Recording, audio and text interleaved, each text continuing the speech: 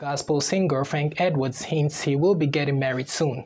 In a post he made to celebrate his colleague Mercy Chinwo and her fiancé Pastor Blessed's engagement via his Instagram handle, the singer captioned his post as follows. My brother and my sister, the official Blessed, let's go. It's gonna be hot hot. Me too, I have a sister, we'll be showing y'all soon.